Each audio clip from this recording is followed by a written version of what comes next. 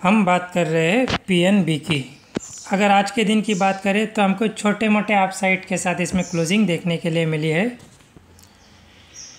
Stock ने जैसे 84 के ऊपर लेवल को ब्रेकआउट कर गया था, उसके बाद लगातार हमको यहाँ अप ट्रेंड नज़र आ रहा है।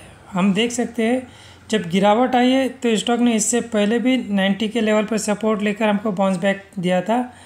अगेन जब गिरावट आई, इसी लेवल को हमने देखा कि रिटेस्ट करके स्टॉक ने बाउंस बैक किया है। और बाउंस बैक के बाद स्टॉक ने अगेन उसी लेवल से हमको रिजेक्शन लेता हुआ नज़र आ रहा है। Ninety two ninety two fifty का लेवल है।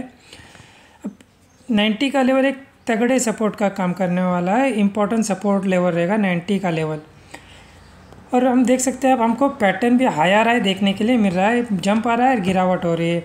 और पी हमको अप ट्रेंड में नज़र आ रहा है।